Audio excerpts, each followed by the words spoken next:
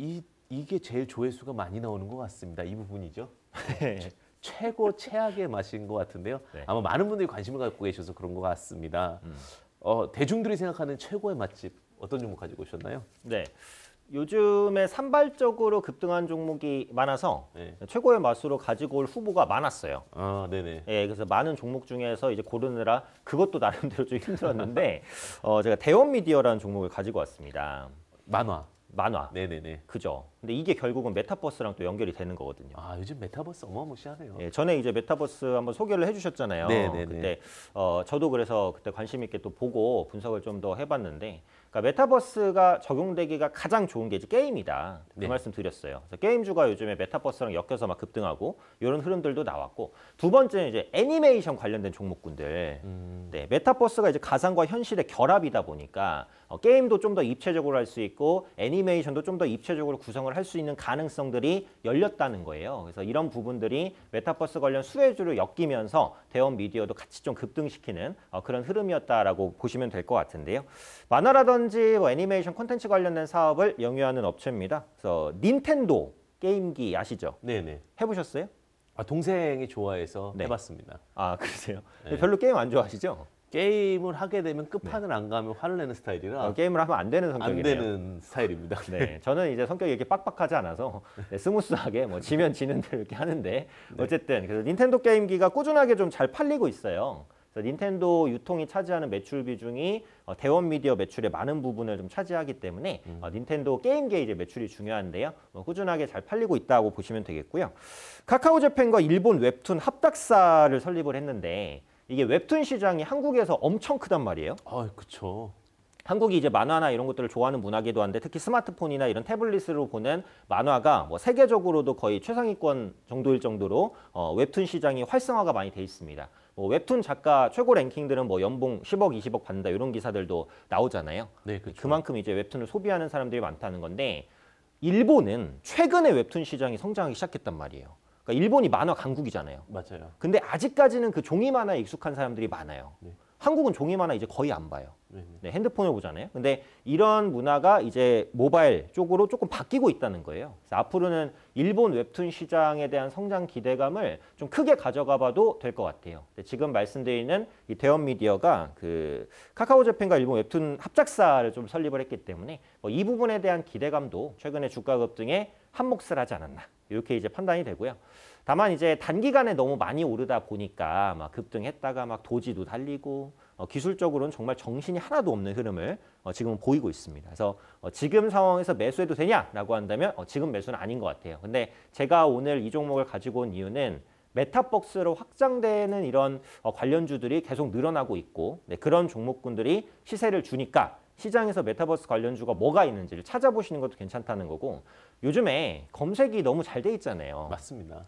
다 나옵니다. 찾으면. 네. 예, 뭐 메타버스 관련주가 됐든 뭔 관련주 치시면 누가 정리했는지 어쨌든 잘 나와 있어요. 그럼 그 정리된 종목군들 하나씩 들어가서 뭐 재무제표를 보시던 아니면은 기업의 홈페이지를 저는 이제 기업의 홈페이지 들어가는 것도 좋아해요.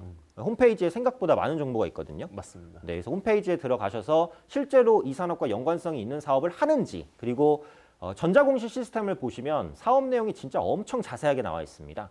시간 되실 때 그런 거 한번 읽어보시면 남들이 못 보는 종목을 선취매할 수도 있어요.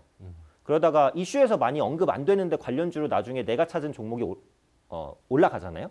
진짜 기분 좋거든요. 아, 그렇죠. 때한 이제 또 네. 두세 배 수익 나면 더 좋죠. 그렇죠. 요게 이제 흙 속의 진주 찾기인데 아, 그렇죠. 이렇게 이제 찾아보시는 것도 공부도 되시고 실제로 수익 내시는데도 어, 도움이 되시는 거니까 공부는 스스로 하셔야 됩니다. 결국은 어, 자료는 많아요. 굉장히 많은 공부 자료들. 어, 저도 그렇고 대표님도 그렇고 뭐 강의도 많이 하고 있잖아요 온라인에서. 네, 맞습니다. 네, 그런 부분들 이제 반복해서 보시면서 실제 매매에 적용시켜보고 그래야 실력이 느니까요. 그래서 이 종목을 가져온 이유는 어, 메타버스 관련주를 찾아보자 네, 이런 관점에서 가지고 왔고요. 어, 지금 5일 이평선에서 이격이 엄청 벌어져 있기 때문에 언제 떨어져도 이상하진 않습니다. 그러니까 보유하고 계신 분들은 물량을 좀 줄이는 쪽으로 보셔야 될 것 같고 어, 지금 아 못 사서 아쉽다라고 하시는 분들은 메타버스 쪽으로 관심을 확장시키면 좋지 않을까라는 측면에서 오늘 대원 미디어 한번 소개해드렸고요. 어, 그럼 대표님은 이제 최고의 맛 어, 어떤 종목으로 선정하셨는지 궁금한데요. 네. 음. 오늘은 이동평균선 얘기 많이 하시는 것 같아요. 아까 60일 이동평균선, 네. 5일 이동평균선. 그러네요. 이게 이게 이평선이 가장 그 시장이나 종목을 직관적으로 네, 볼수 있으니까. 근데 저도 이 말이 공감하는 게 음.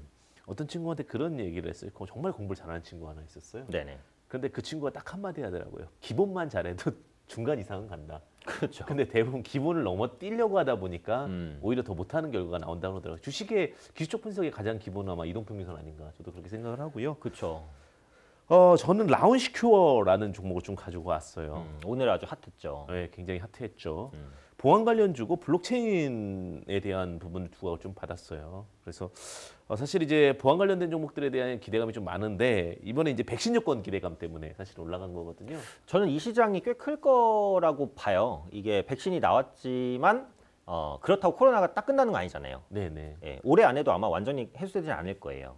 그래서 아마 이게 이제 또 스마트폰에 또 음. 인지하기 쉽게끔 요즘에 우리나라가 굉장히 대단한 나라인 게 식당에 가서 QR 체크인 딱 하면 끝나잖아요. 그렇죠. 이런 기술력을 빠르게 확보하고 있는 나라가 없다라고 합니다. 음. 그래서 그 정도로 또 기술력이 좋다라고 보시면 될 것 같고 그래서 백신 여권에 대한 기대감도 있다라고 보시면 될 것 같고요.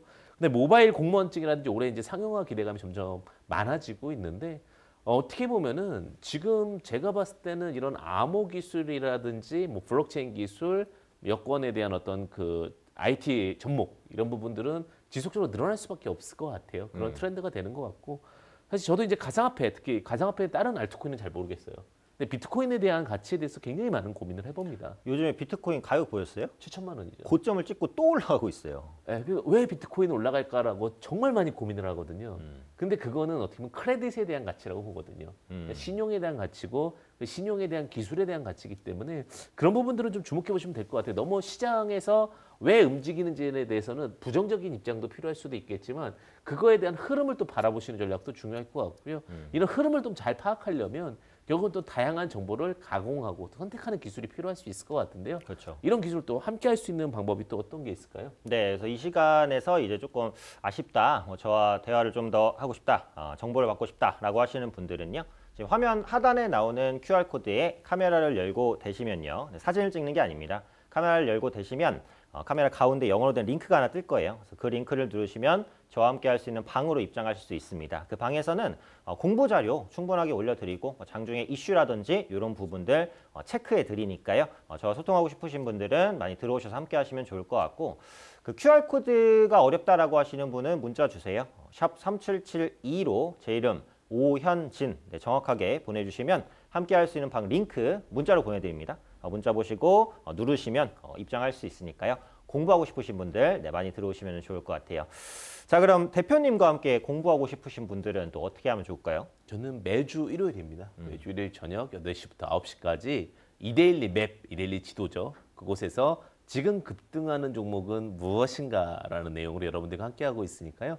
오셔가지고 또 다양한 정보를 실시간으로 논의하는 그 부분을 보시면 좋으실 것 같고요. 결국은 트렌드, 흐름을 함께 소통하는 시간을 가지니까요. 오셔서 다양한 정보 가져가실 수 있으셨으면 좋겠습니다.